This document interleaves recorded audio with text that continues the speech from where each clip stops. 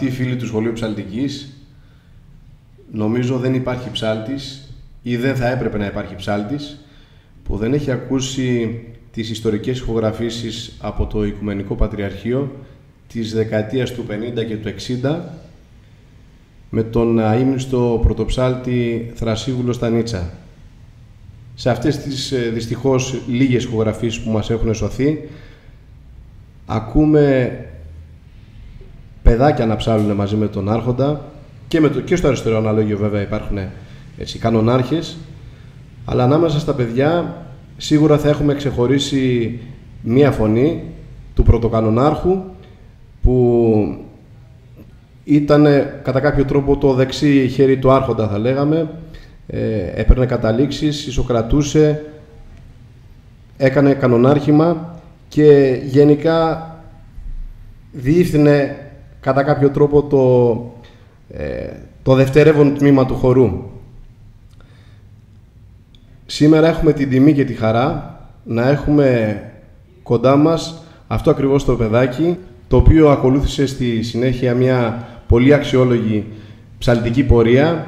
Ε, έγινε δεξιός ιεροψάλτης στον Ιερό Ναό Ζωδόχου Πηγής Ηλίου, τον κύριο Διονύσιο Γούτσε. Κύριε Διονύση, καλώς ήρθατε στο Σχολείο Ψαλτικής. Καλώς σας βρήκα. Ευχαριστούμε πολύ για την τιμή που μας κάνετε. Δική μου είναι η τιμή. Να πούμε στους ε, ακροατές μας ότι παλέψαμε πολύ να έχουμε τον κύριο Διονύση κοντά μας. Είναι κάτι που θέλαμε τουλάχιστον νομίζω τρία χρόνια, περάσανε δύο με τρία χρόνια. Έτσι, περίπου. Περίπου, ναι. Δεν φταίτε ούτε εσείς ούτε εγώ. Βέβαια, ναι. Οι συνθήκες... Οι συνθήκες. Κυρίως οι συνθήκες. Υγείας, αλλά και λίγο το ότι εγώ αποφεύγω τη δημοσιότητα. Ε, ναι. Είναι νομίζω... Οπότε είναι ακόμα μεγαλύτερη τιμή για μας. Σπανίως μιλάει ο κύριος ε, Διονύσης. Να πούμε ότι είναι και στο Σύλλογο ε, Κωνσταντινούπολιτών, Μουσικοφίλων Κωνσταντινούπολεως ε, ε, στην Αθήνα εδώ. Ένας σύλλογος με ιδιαίτερα αξιόλογη πορεία. Είναι φως για όλους τους ψάλτες. Είναι, είναι επεξίδα, είναι στο Διοικητικό Συμβούλιο ο κύριος Διονύσης. Ε, και έτσι είναι και με αυτή την ιδιότητα σήμερα ε, κοντά μας δεν θα κάνουμε μια τυπική συνέντευξη, να, να σας πούμε πρώτα τα βιογραφικά κτλ. Νομίζω ότι θα ξεκινήσουμε, ε, την, θα πιάσουμε ιστορικά την πορεία του ε, δασκάλου εδώ από τα πρώτα του χρόνια, από τα παιδικά του χρόνια. Θα μας πει όλη την πορεία, όλη τη σταδιοδρομία που ακολούθησε ε, και μέσα από αυτή την πορεία θα έχουμε και την ευκαιρία να συζητήσουμε ενδεχομένως και κάποια τεχνικά ζητήματα, κάποιες λεπτομέρειες που θα έχουν ενδιαφέρον και για τους ψάλτες και για μαθητές και για δασκάλους κυρίως. Καταρχήν είμαι πολύ συγκινημένος που βρίσκομαι ανάμεσά σας. Ένας από τους λόγους που με όθησε να κάνω αυτή τη συνέντευξη, όπως σας είπα αποφεύγω να κάνω συνέντευξεις, είναι όταν σας πρωτοάκουσα να ψέλνετε, με τον τρόπο που ψάλετε, θαύμασα για πρώτη φορά, μπορώ να σας πω, Ελαδίτες να ψάλουν με τον τρόπο το δικό μας διότι αυτό για μένα ήταν ό,τι το μεγαλύτερο δώρο. Διότι αν ασχολούμαι σήμερα με το Σύλλογο Μουσικοφίλων Κωνσταντινούπολεως, χρόνια στο διοικητικό τώρα, τρεις-τρεις δεκαετίες, ο λόγος είναι να μεταλαμπαδευτεί αυτή η παράδοση που δυστυχώς πάρα πολύ την απεμπολούν. Έχουμε στη ράτσα μας φαίνεται αυτό το μικρόβιο, ό,τι είναι δικό μας να το κάνουμε ξένο, και ό,τι είναι ξένο να το οικειοποιούμε. Δεν ακούμε τίποτα, αλλά λέμε τουρκική μουσική. Από πού είχαν η τουρκική μουσική; Τουρκική κουζίνα. Από πού είχαν την κουζίνα; Θέλω να πω, αυτά είναι αδυναμίες της φυλής μας.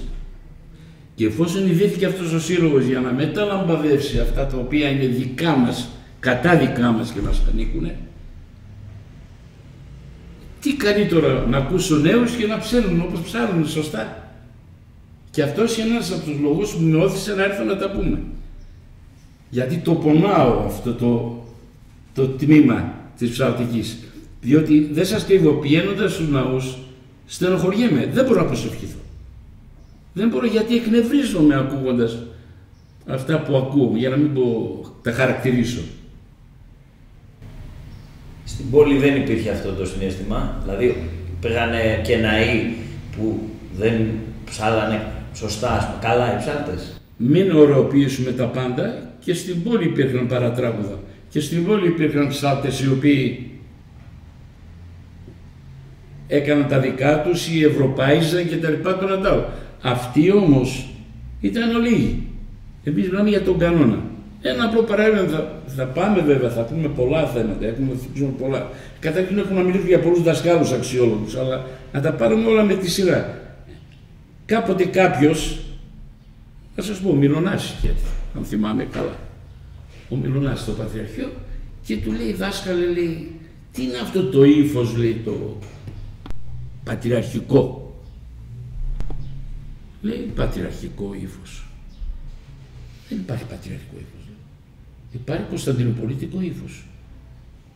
Απλούστατα, στο Πατριαρχείο ψάλλονται συγκεκριμένα μαθήματα με αυτό το ύφος. Τα οποία και έξω από το Πατριαρχείο έτσι ψάλλονται. Απλούστατα έξω ψάλλονται άλλα μαθήματα που δεν ψάλλονται στο Πατριαρχείο. Το ύφος. Το... ρεπερτορίου Ναι, το, το ύφος είναι ένα. Και άμα θέλεις του λέει να ακούσεις πώς ψάλλουν, λέει, και ποιο είναι το ύφος, πάνε στο Τζιμπαλί στον Αγιο Νικόλα που είναι δίπλα μας στο Πατριαρχείο. Εκεί ψάλλει ο Σάβα ο Αβραμίδης. Άμα θα ακούσει το Σάβα, θα καταλάβεις τι σημαίνει πολίτικο ύφος. Μην μπερδεύουμε το ύφος με το ρεφερτόριο. Απλούστατα αυτά που ψάχνουν στο Πατριαρχείο τα μαθήματα, το ρεπερτόριο αυτό, το ψάχνουν με ένα συγκεκριμένο ύφος, το οποίο ίδιο ύφος ισχύει και εκτός Πατριαρχείου για τα ίδια μαθήματα. Αυτά, ποιος τα δεν, ξέρω, δεν ξέρω αν έγινε αντιληπτό. Στο ναι. Μιλωνά, ποιος τα είπε αυτά; Ο Στανίσας. Μάλιστα. Το Πατριαρχείο, παιδιά, ήταν σχολείο. Απλώς λέω σχολείο για να μην πω πανεπιστήμιο. Ε, θα το διαπιστώσουμε νομίζω στην πορεία της κουβέντας μας. Εμένα ναι. μου είχατε πει κατηδίαν μια έτσι, ε, κουβέντα που την έχω κρατήσει, ε, ότι στο Πατριαρχείο έχτιζες χαρακτήρα. Αυτό θα, σας, θα, αυτό θα σας τα πω ε, κατά τη διάρκεια του, του οδηπορικού. Διότι τίποτα δεν είναι τυχαίο στη ζωή, γιατί πάρα πολλοί παραβλέπουν ορισμένα πράγματα δεν θέλω να κάνω το θυσκόληπτο γιατί δεν είμαι θυσκόληπτος, πιστεύω ακράδαντα στο Θεό, διότι στην πορεία τη δικιά μου πάντοτε είχα στο βάθος ένα φως που πάντοτε μου βρίσκε τη λύση. Λοιπόν, στα 9 μου χρόνια έχασα τον πατέρα μου. Στα Σεπτεμβριανά τα γεγονότα της Κωνσταντινούπολης. Άλλαξε η ζωή μου. Άλλαξε η ζωή μου. Ζούσα πλουσιοπάραγα και μετά ταλαιπωρήθηκα. Τον πατέρα σου το χάσατε στα Σεπτεμβριανά λόγω του Σεπτεμβριανού. Ναι, ναι, ναι, λόγω του Σεπτεμβριανού. Λοιπόν. Και άλλαξε η πορεία μου. Ήμουν 8,5 χρονών, 9 χρονών, δεν είχα. Κοιτάξτε τώρα πώς τα φαίνει ο Θεός που σας είπα, γιατί τίποτα δεν είναι τυχαίο στη ζωή μας. Απλούστατα περνάνε από μπροστά μας απαρατήρητα. Και τα θαύματα και όλα. Απαρατήρητα. Δεν δίνουμε σημασία. Και όμως υπάρχουν. Ο θείος μου, ο αδερφός της μητέρας μου, υπηρετούσε με κάποιον στο στρατό, ο οποίος λεγόταν Τόνι. Ήταν το όνομά του το χαϊδευτικό. Πώς λένε εσάς στους Κωνσταντίνους Ντίνο, αυτόν το φωνάζανε Τόνι. Και ήταν ο Αγαθόνικος. Ο Αγαθόνης. Ο οποίος είναι από τις καλύτερες φωνές που έχω γνωρίσει γλυκύτατος και όπως ερχόταν στο σπίτι μας και γλεντάγανε με το θείο μου εκεί πέρα και τα λοιπά, τραγουδάγανε. Ε, τραγουδάγα κι εγώ. Όταν με άκουσε μου λέει αυτός ο μικρός έχει λέει καλή φωνή. Και μου λέει θα έρθεις μαζί μου την Κυριακή. Και με παίρνει και με πάει στον Άγιο Ελευθέρη στο κημητήριο της ε, ενορίας Ταταούλο, στο κημητηριακό ναό. Αυτός έψαινε αριστερά και δεξιά υπήρχε ένας καραμαλής ψάλτης, ο Βασίλας, έτσι το λέγανε. Δεν θυμάμαι το επώνυμο του τώρα. Τα πρώτα μου ακούσματα είναι αυτά. Ακόμα τα θυμάμαι. Διότι εσείς που είσαστε τώρα κατά κάποιο τρόπο και εκπαιδευτικοί, έχετε τα παιδιά, έχετε τους μαθητές σας, να ξέρετε ένα πράγμα. Από εσά εξαρτάται αν το παιδί θα γίνει ψάλτης. Δεν αρκεί μόνο να το διδάξετε, να το μάθετε τη μουσική, να κάνετε να το αγαπήσει το αντικείμενο. Εάν ο δάσκαλος κάνει το μαθητή να αγαπήσει αυτό που του διδάσκει, πέτυχε. Δεν θα κάνει αγκαρία. Ε, λοιπόν, αυτοί οι άνθρωποι, οι πρώτοι δύο, εμένα με έκαναν να αγαπήσω την ψαλτική. Πρώτο αυτό. Δεύτερο, εκείνα τα χαλεπά, τα δύσκολα χρόνια, ξαφνικά γέμιζε το αναλόγιο μετά το τέλος της λειτουργίας. Ερχόντουσαν γυναικούλες όλες, μου φαίνανε αυγά, φρέσκα, το παιδάκι μου για τη φωνή σου, μου φαίνανε δώρα, μου δίνανε χαρτζηλίκι. Εγώ παιδάκι μέσα με τον κόσμο τα λεφτά θα ρίσκα στα κάλαντα που λέει. Λοιπόν, καταλάβατε. Δηλαδή αυτό γίνεται συστηματικά. Αυτό συστηματικά κάθε Κυριακή. Οπότε γλυκάθηκα εγώ. Γλυκάθηκα. Είχα ξαφνικά καλύπτω όλε τι δουλειέ μου τα έξοδα εγώ. Σαν παιδάκι. Τα σχολικά. Υπήρχαν άλλα παιδάκια στον αναλογή μου; Πώς; Υπήρχαν άλλα παιδάκια στον αναλογή. Άλλα δύο ήταν τότε. Γιατί ήταν ο χημητηριακός ναό, δεν ήταν. Αλλά είχε πολύ κόσμο όμως. Γιατί η ενορία Ταταούλων ήταν η μεγαλύτερη συνοικία της πόλης. Και γενικά ο κόσμος εκκλησιαζόταν. Βέβαια, βέβαια. Να σκεφτείτε ότι. Πέρα την Κυριακή, ας πούμε, ναι. το Σάββατο λόγω. Το Σάββατο, και Σάββατο και η Κυριακή ήταν γεμάτος ο ναό ο, ο κημητεριακό. Εγώ Σάββατο δεν μπορούσα γιατί Σάββατο είχαμε σχολείο μέχρι το μεσημέρι. Ναι, ναι. Πήγαμε την Κυριακή μόνο. Εκεί όμως ξεκίνησα. Εκεί άρχισα να λέω. Δεν υπήρχαν οι απαιτήσεις και ο φόβος που υπήρχε στους μεγαλύτερους λαού. Οπότε και να κάνεις κάποιο λάθος. Δεν, δεν, δεν ήταν αμερτό, δεν σου κάνανε παρατήρηση. Και έτσι πήρα το πρώτο, την πρώτη όφηση. Αλλά είχα και αυτή την υποστήριξη που γλυκάθηκα, πώς το λέμε. Και άρχισα να λέω πολλά πράγματα μόνος μου, που ήμουν πολύ μικρός ακόμα και όλα τα αυτά λέω μόνος μου πολλά πράγματα. Γιατί με βάζα να τα πω. Εκεί ήταν, αυτό ήταν το ψαλτήρι που λέτε εσείς τώρα εδώ, ήταν εκεί. Γιατί; Δεν είχα λόγο ούτε να φοβάμαι, ούτε να έχω αναστολές και τα ούτε τρεπόμουν. Και με ενεθάρρυναν και ο Αγαθόνικος μαζί με τον Βασίλα.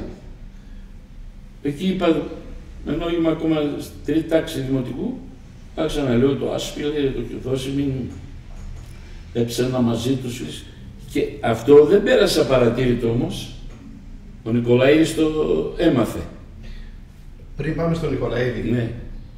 Να ρωτήσω λίγο για αυτούς τους δύο ψάλτε. Για... Που φαίνεται ότι ναι. σημάδεψαν την αρχή σας. Και εμένα, εμένα βέβαια. Τους έχετε ακόμα στα αυτιά σας. Και κάτι, και κάτι άλλο εκ παραδρομή, συγγνώμη σα διακόπτω. Αυτό πάντοτε το σκέφτομαι. Σε όλες τις χρονιάρες μέρες ή όταν κάνω τρισάγιο ή της γονατιστής όπως λέγαμε εμείς στην πόλη ή την ημέρα της γονικρισία δηλαδή, που λέμε περνάνε οι ψυχές όλες, όποτε γονατίζω, τέσσερα άτομα μνημονεύω. Αγαθόνικος Βασίλας, Βασίλειος Τρασίγουρος. Αυτά τα τέσσερα άτομα σημάδεψαν τη ζωή μου. Αν σήμερα εγώ μορφώθηκα, έγινα φαρμακοποιός ή οτιδήποτε έκανα στη ζωή μου, στην εκκλησία και σε αυτούς τους τέσσερις το οφείλω. Αυτό δεν πρέπει να τα ξεχνάνε τα παιδιά.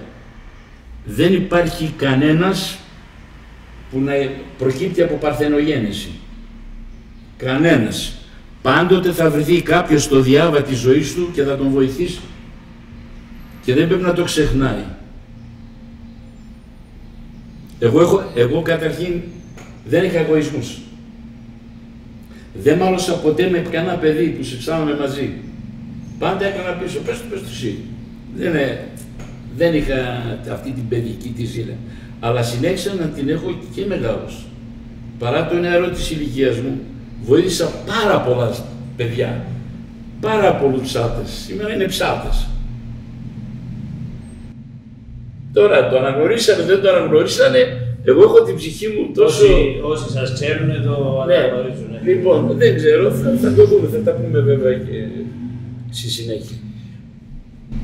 Αυτούς λοιπόν τους δύο δασκάλους, τους έχετε ακόμα στα αυτιά σας, θυμάστε πώς ψάχνετε.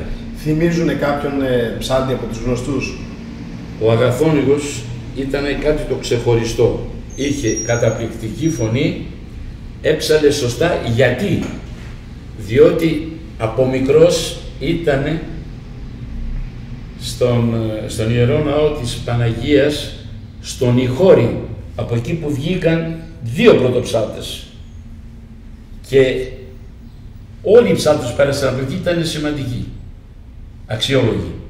Αυτά υπήρχαν στο αυτή, υπήρχε παράδοση σε αυτό το ναό.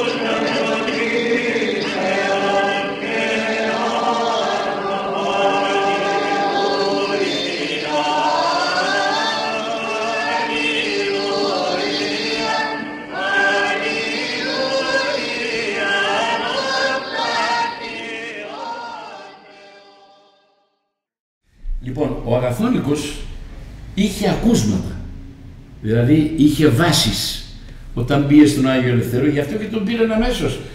Τα χρόνια εκείνα, επειδή υπήρχε πληθώρα ψαλτών, δεν γεννώσουν εύκολα ψάλτη. Θα ήσουν βοηθός. Ούτε δομέστικο δεν λέω. Το ξανατονίζω. Δεν λέμε πρωτοψάλτης, δεν λέμε δομέστικος. Ούτε λαμπαδάριος. Βοηθός, ούτε λαμπαδάριο. Λέμε δεξιός ιεροψάλτης, αριστερός ιεροψάλτης, δεξιός βοηθός, αριστερός βοηθό. Μετά θα πούμε το γιατί. Ναι. Λοιπόν, ο Αγαθόνικος ήρθε στον Άγιο. Συγγνώμη, πριν πείτε αυτό, εννοείται ότι ήταν τόσοι πολλοί οι ψάλτες ώστε δεν έβρισκες ούτε θέση βοηθού. Βέβαια, υπήρχαν πληθώρα. Διότι ήταν ο ψάλτης, ήταν οι δύο οι βοηθοί, ήταν άλλοι δύο, τρεις, τέσσερις βοηθοί και άλλοι. Παραβοηθοί. Και μετά οι κανονάρχες. Ο κάθε χορός είχε 15 άτομα. Οι βοηθοί πληρώνονταν. Οι βοηθοί στους μεγάλους ναούς όλοι πληρώνονταν. Και ήταν σε κάθε αναλόγιο ένας βοηθός, βασικός. Δύο. Δύο, βαθ- δύο βασικοί. Και τα αναλόγια ήταν στι αναλογίε ήταν όπως το Πατριαρχείο που είχαν δύο στασίδια. Όχι, τρία. Ο δάσκαλος, η μέση και δεξιά οι δύο οι βοηθοί, δεξιά και αριστερά. Και κάτω οι κανονάρχες. Τώρα, αν υπήρχαν κι άλλοι βοηθοί, γιατί ερχόντουσαν κι άλλοι που μετά τη μένα μεταφώνηση ή αποφώνηση όπως θέλουν όλοι που αλλάζανε στα παιδιά, η φωνή, έρχονταν, πήγανε στην εκκλησία, συνέχισαν. Δύσκολα βρίσκανε ναό να ψάχνουν, διότι οι ψάλτες υπήρχαν. Μετά, όταν άρχισε το ξύλωμα και έφευγε ο ελληνισμός από την Κωνσταντινούπολη, αδειάσαν θέσεις και βρίσκανε σιγά σιγά και φτάσαν στο σημείο να μην υπάρχει ψάλτης. Λοιπόν, Δηλαδή, αυτοί που αμείβονταν Ναι. μισθό από την ΕΟ ήταν σε κάθε ψαλτήρι. ο χωράρχης, οι δύο οι βοηθοί και, και ορισμένοι κανονάρχες. Όχι όλοι. Ναι. Άρα, αν Εν δεν- αντιθέσει με το Πατριαρχείο, μου αμοιβόντουσαν όλοι οι κανονάρχες. Άρα, άμα πούμε ότι έχουμε δύο ψαλτήρια, μίνιμουμ 6 άτομα, 6 μισθούς είχε ο ναός για τους ψάλτες. Μη το λιγότερο. Θα το πούμε με, θα το μετά. Λοιπόν, ήταν ο Αγαθόνικος που είπαμε. Ο Βασίλας ήταν από τους ψάλτες στους πρακτικούς. Δεν ήξερε μουσική. Ήταν δάσκαλος όμως. Ήξερε να ψάλει. Ευχαριστιώσου να τον ακούς. Είχε ένα καταπληκτικό ύφος. Είχε περιεχόμενο. Σε καθήλωνε. Τι να το κάνω εγώ αν ξέρει μουσική και δεν ξέρει να ψάλει. Ποιον θύμιζε από τους γνωστούς Πώς; δασκάλους; Ποιον, ποιον θύμιζε, θύμιζε τον Πρίκο. Ιάκωβο, τον Ιάκωβο. Ναφιώτη. Ιάκωβο. Έχω την απορία αυτοί οι άνθρωποι που δεν ξέρανε τα μουσικά. Έτσι. Εντάξει, στα κομμάτια τα γνωστά έχουμε πολλά παραδείγματα που ξέρουμε ότι μπορεί να αποδώσει. Τι κάνανε στα χερουβικά και σε αυτά, στα μαθήματα, τι, Στα κοινωνικά. Καταρχήν, τι- καταρχήν ξέρανε ότι του φωκαέ όλα. απ' έξω. Απ' έξω. Γιατί ο Στένσης άνοιξε ποτέ βιβλίο; Αυτό να πεις. Όταν είσαι ψάλτης διαβάζεις. Το, πρώτο, το μόνο πράγμα που δεν επιτρέπεται η τεμπελιά είναι η ψαλτική. Ο Στανίτσας, όπως το γνώρισα εγώ, ήταν από τους ψάλτας που διάβαζε όλη την ημέρα. Δεν είχε άλλη δουλειά. Διάβαζε. Γι' αυτό και ήταν επιθετικός απέναντι στους άλλους και δεν συγχωρούσε λάθη. Ποτέ δεν ανοίγει. Ποτέ, ποτέ. Έβλεπες έτσι ένα χειροφικό. Το Κωνσταντίνο ξέρω. Άνοιγε. Άμα άνοιγες το βιβλίο, θα έβλεπες ούτε μια απλή δεν παρέλειπε. Ήξερε τα χειρουργικά του Τα Κωνσταντίνου. πάντα, τα πάντα, τα πάντα, το ψέμα πατέρα. Λοιπόν, θέλω να σου πω ότι ή το είχες ή δεν το είχες. Εκεί μετριότητες δεν περνάγανε τα παλιά χρόνια εύκολα. Μετά ήρθαν, ήρθαν οι μετριότητες. Α, γι' αυτό σας είπα ότι τα πρώτα μου ακούσματα ήταν αυτά. Ήταν καλά. Ο Αγαθόνικος είχε από τον Ιχώριο. Μια εκκλησία με μεγάλη παράδοση. Με καλούς φλάουτες. Ο άλλος ο Βασίλας επίσης ήταν ένας καταπληκτικός ψάλτης. Όπως σας είπα προηγουμένως στην αρχή της ομιλίας μας, ο Αβραμίδης. Ο Αβραμίδης, ο Σάβας, άμουσος ήταν. Ε, τι να τον κάνω το μουσικό εγώ; Ο Σταρίτης είπε στο Μίλωνα, πάει να ακούσεις το Σάβα. Καταλάβατε. Είναι πολύ με... Γι' αυτό, ας το πούμε αυτό από την αρχή, αν και θα, θα σας το έλεγα μετά, Εσείς τα παιδιά που έχετε εδώ και διδάσκετε, να φροντίσετε να πάνε στα αναλόγια ή στα δικά σας ή σε καλούς να γεμίσει το αυτί τους. Αν δεν γεμίσει το αυτί τους από σωστά ακούσματα, η καλύτερη μουσική να γίνει ψάλτα δεν θα γίνει ποτέ. Πρώτα θα γίνουν πρακτικοί ψάλτες, σχεδόν ψάλτες, παιδιά, τι ψάλτες Αυτά που πρέπει να μάθουν τα βασικά και μετά να μάθουν μουσική για να μπορέσουν να μπαίνουν και στο νόημα. Όπως έκανε ο Στανίτσας σε μένα. Ο Στανίτσας τον πρώτο χρόνο δεν ασχολήθηκε μαζί μου, ασχολείται μόνο ο Δανιλίδης. Στον δεύτερο χρόνο όμως, όταν εγώ μπήκα στο νόημα, ακολουθούσα, συνέψαλα, έπαιρνα καταλήξεις, κανοναρχούσα, όλα κτλ. Αρχίσαμε τα παπουγαδίσματα τότε. Αφού με έμαθε με πρακτικό τρόπο να βρίσκω όλους τους ήχους. Εμένα αν με ρώταγες πριν μάθω μουσική, τι ήχος είναι αυτό, δεν σου λέω, είναι πρώτος, είναι δεύτερος, είναι τρίτος. Πώς το... Θα, σου, θα σας πω μετά αυτά. Όταν, φτάσουμε, όταν, όταν φτάσουμε στο Στανίτσα. Λοιπόν, είμαστε στο... Ακόμα στο ξεκίνημα είμαστε. είμαστε ακόμα. Λοιπόν, μου είχε μάθει ορισμένα απηχήματα, τα οποία εγώ, για να καταλάβεις, με αυτόν τον τρόπο, εγώ έβρισκα και έλεγα σωστά όλα τα Θεός Κύριος που σήμερα τα μπερδεύουν τον πλάιο τέταρτο με τον τρίτο, το βαρύ, το βαρύ τα μπερδεύουν. Λοιπόν, γι' αυτό και πολλές φορές εμείς ξεκινάγαμε τα παιδιά στο Πετρέχιο. Θα μας τα πείτε αυτά τα απηχήματα. Βέβαια, θα πούμε και αυτά. Όταν ε, αργούσε ο δάσκαλος, εμείς μέχρι τις καταβασίες τα παιδιά εμείς ψήναμε. Θεός Κύριος, αναβαθμούς, κανόνες, πετάγαμε, τι παιδάκια. Λοιπόν, πού μείναμε; Είχαμε... Έχει παραδρομή, συγγνώμη, εκ παραδρομής υποχρεωτικά Αυτά- λέμε, αυτά τα λέμε- καλά, αυτά τα λέμε και καλά. άλλα πράγματα, αλλά Αυτά στην τα καλά. αρχή να είμαστε να το πάρουμε δηλαδή Πώς σας βρήκε ο Νικολαίδης;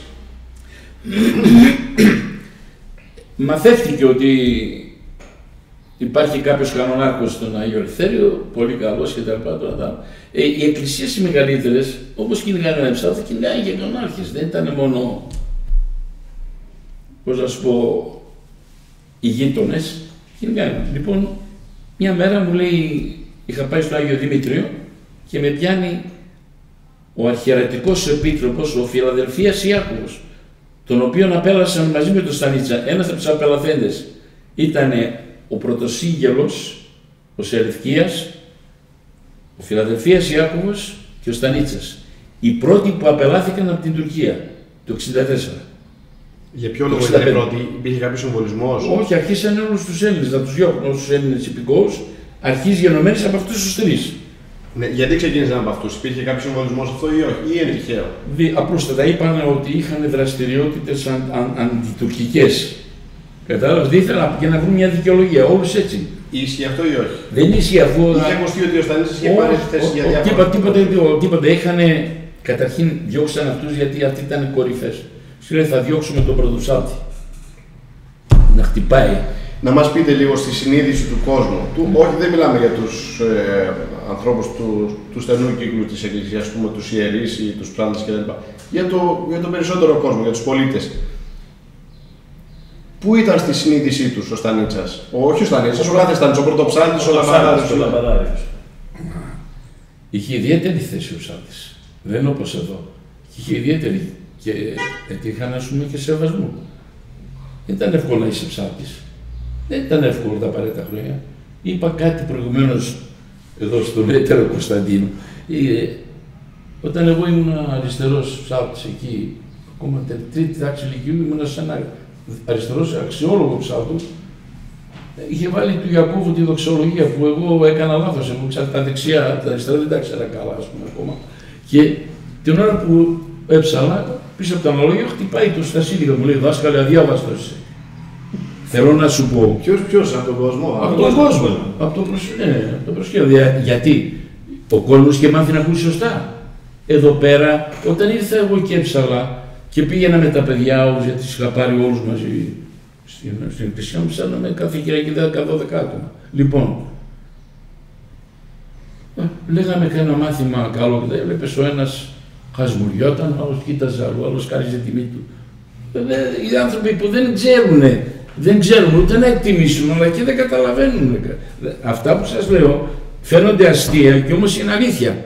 Και αυτό είναι το ελάττωμα το βασικό. Και δυστυχώς κάτι τέτοιοι κάνουν κριτική. Δεν κάνουν. Το να σου κάνει κριτική κάποιος νόστης είναι ευλογία. Άρα στην πόλη δεν υπήρχε αυτό το, αυτή η διασύνη από τον κόσμο να σου πει ο κόσμος τι λέει τώρα ο ψάλτη, αού, αού και τέτοια. Όχι, όχι, αν δεν άξιζες δεν γεννώσουμε εκεί. Υπήρχε αξιοκρατία. Δεν εδώ πέρα κάτσε κουτσί στραβή στον Αϊπαντελήμονα που λέγαμε. Ο κόσμος που λέει ότι ήξερε να ακούει. Ναι. Α, περίμενε να τελειώσει η ώρα να φύγει ή, ή απολάμβανε τον ψάλτη. Το εκτιμούσε. Στο τέλος σου το έλεγε, στο τέλος. Αλλά Πολλές φορές λέω ήταν πίσω στο αναλόγιο, ήταν στα σίδη. Yeah. Ναι. Αυτός που καθόταν και εκκλησιαζόταν, μου πάει το αναλόγιο, μου λέει δάσκαλα, διαβάστε. Mm. Είχαν απαιτήσει, δηλαδή μπορεί να σας ζητούσαν να πείτε κάτι πιο συγκεκριμένο κομμάτι ο, ο κόσμος ή δεν ασχολιόντουσαν με το Όχι, ο κόσμος δεν απαιτούσε τι θα ακούσει. Αυτό που θα ακούσει να είναι σωστό απαιτούσε ο κόσμος. Mm. Ήξερε δηλαδή ουσιαστικά ήξερε το, το, το, το, το, αυτή τους ήταν γεμάτο. Μπορούσε να αξιολογήσει κάποιον και να πει αυτός είναι καλός, αυτός δεν είναι καλός. Mm. Είχε, το κριτήριο τους ήταν διαφορετικό από ό,τι εδώ. Άρα, αν λέμε σε κάθε περιοχή, σε κάθε, ναι, σε κάθε περιοχή της πόλης, ότι υπήρχαν 4-5 άτομα που, ήταν αξιό, που θεωρούνταν, ας πούμε, ναι, κοίταξε, ήταν όταν... ο ιερέας, φαντάζομαι, ναι, λοιπόν, ο πρόεδρος κοινότητας, ο δάσκαλος και ο ψάλτης. Εκεί υπήρχαν ήταν τελείως διαφορετικά τα πράγματα που έχουν καμία σχέση με εδώ. Λοιπόν, στις διάφορες συνοικίες, σε μικροσυνοικίες, δεν ήταν όπως οι μεγάλες συνορίες, ήταν ας πούμε τα τατάβα, με τον περισσότερο ελληνισμό. Μετά ήταν το πέρα, ήταν τα εισόδια, ήταν η Αγία Τριάδα, ήταν ο Άγιος Κωνσταντίνος. Στα τατάβλα είχαμε τρεις εκκλήσεις. Ήταν το Αγίου Ελευθερίου που σας είπα ο Κημητηριακός Ναός, ήταν ο Άγιος Αθανάσιος από τους πιο παλιούς ναούς της πόλης, που τους άφησε αυτές ο Σουλτάνος, παρά το ότι είχαν τρούλο, γιατί μας πήραν όλους ναούς που είχαν τρούλο. Επειδή θέλουν να τα φτιάξουν τζαμιά, δεν θα πρέπει οι εκκλησίες να έχουν τρούλο. Γι' αυτό το Πατριαρχείο δεν έχει τρούλο. Ο Άγιος Δημήτριος που μου λέει δεν έχει τρούλο. Δεν έχουν τρούλο οι εκκλησίες, ελάχιστες είναι. Είναι μια η, επάνω το μοχλιό που λέγαμε η Παναγία δίπλα στη Μεγάλη του Γέννου Σχολή ο Άγιος Αθανάσιος και, και, ε, και μια την Αγία Τριάδα που την κάνανε οι Ρώσοι αυτοί και δεν μπορούσαν να τους το επιβάλλουν. Ναι, και δεν μπορούσαν να τους το επιβάλλουν. Όλοι οι άλλοι ναοί δεν μας αφήσανε σε ένα όλοι με τρούλους. Ναι. Γιατί πήραν τους έτοιμους τους ναούς και τους κάνανε μια. λοιπόν, ήθελα να πω ότι στους συνοικιακούς ναούς υπήρχε ένας, αν υπήρχε ενορία η οποία είχε σχολείο, γιατί πολλές ενορίες είχαν σχολεία δηλωτικά. Υπήρχαν μαθητές. Όπου υπήρχαν μαθητές υπήρχαν κανονάρχες. Εκεί υπήρχαν και ψάλτες. Αν όχι, όπως ήταν η Δημήτρη που σας είπα, δύο βοηθοί και χώρια και άλλοι βοηθοί κάτω κανονάρχες πολύ, υπήρχε ένας βοηθός ή και κανένας, μπορεί να ήταν μόνο ψάλτος ο αριστερός και ο δεξιός στους συνοικιακού. Στους μεγάλους ναούς όμως, όπω ήταν τα Τατάβλα, ο Άγιο Δημήτριος, οι άλλοι που είπα της Παναγίας, Αγία Τριάδη Κωνσταντίνος, στον Ιχώρη κάτω. Υπήρχαν Μητροπόλεις οι οποίες ήταν εν ενεργεία Μητροπόλεις, Χαλκιδόνα, τα Πριγκυπώνησα, ας πούμε, είχαν ψαλτάρες, δεν είναι. Και βοηθούς και τέτοια, με σχολεία, με δημοτικά, με γυμναστήρια, με μεγάλη δραστηριότητα. Μιλάμε για πολύ ελληνισμό. Ε, όταν εφιολισμός εξέφτισε το πράγμα. Πάμε στον Νικολαίδη. Ε, όταν με κάλεσε λοιπόν ο Φιλαδελφίας, γιατί εκεί σταματήσαμε στον Φιλαδελφίας, μου λέει, Διονύσια, λέει, έμαθα ότι είσαι καλός. Λοιπόν, από την άλλη Κυριακή θα έρθεις εδώ στον Άγιο Δημήτριο. Εγώ δεν ήθελα να φύγω. Γιατί είχα κλικαθεί στο, στο Άγιο Ελευθέριο με είχαν εγκαλιάσει, μου δίνουν πράγματα κτλ. Παιδάκι εγώ τώρα, ήμουν ευχαριστημένος, δεν ήθελα να έρθω. Του λέω σοβαρισμένα, εγώ δεν μπορώ να έρθω, θα μείνω εκεί. Καλά είμαι εκεί. Είμαι ευχαριστημένος, περνάω ωραία, μαθαίνω και τα. Όχι, μου λέει. Αυτό δεν στο ζητάω για χάρη, λέει, είναι διαταγή. Έτσι. Θα έρθεις εδώ και θα πληρώνεσαι εδώ, μου λέει. Γιατί κατάλαβα αυτό στο νόημα και, και εγώ θα είμαι ο γέροντάς σου. Και οτιδήποτε προκύψει, εγώ είμαι εδώ. Το, το έθεσε δηλαδή ξεκάθαρα, δεν μπορούσα να πω όχι. Πήγα και με πήγε στον Νικολαίδη. Άλλη τύχη. Και να σκεφτείτε τότε τι ψαλτάρες υπήρχαν που ο Νικολαίδης ήταν αριστερός. Δεξιός ήταν ο Πόμος, το πώς τον λέγανε ήταν ο πρόδρομος δηλαδή. Ο Αγγελίδης ήταν βοηθός του και ο άλλος ο βοηθός αριστερά του ήταν ο Αλεξιάδης, ο Ευάγγελος. Εντάξει. Ο Πόμος πώς έψαλε, τον θυμάστε; Βέβαια. Και ο Νικολαίδης είχε τον Σταύρακα με τον αδερφό του τον Σεραφείμ τον Νικολαίδη και αυτός χαρτίτης, το λόγος. Και αυτός καλός. Άσε τους βοήθους, όπως σας είπα. Βοηθοί ήταν πολύ, καλά κανονάρχες, τι να σας πω. Και να σας πω κι άλλο ένα. Υπήρχαν κανονάρχες οι οποίοι, ποιον να θυμηθώ, ο Τέλης ο Ιερεμίας, η Τσάμς, το συγκρότημα. Ο Τέλης ο Ιερεμίας είναι ο Λευτέρης Ιωνάς. Έψαινε μαζί μου στο αναλόγιο, σάπτιστα. Όπως το Λογαρίδη. Δεν ήταν Λογαρίδης, ήταν νομίζω το, ο γιος του. Ο πατέρας ήταν ο πρώτος που πήρε οφήκιο και έχει γίνει σάλος τότε στην Κωνσταντινούπολη.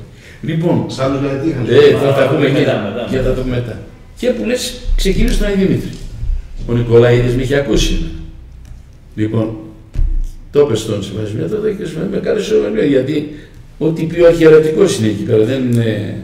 Δηλαδή, Α, δηλαδή ο δεσπότης σας κάλεσε επειδή του είχε πει ο Νικολαίδης. Βέβαια. Ο οποίος σας είχε ακούσει τον Άγιο ο Ελευθέριο. Νικολαίδης θα κάνει την εισήγηση γιατί αυτός είναι ο γνώστης.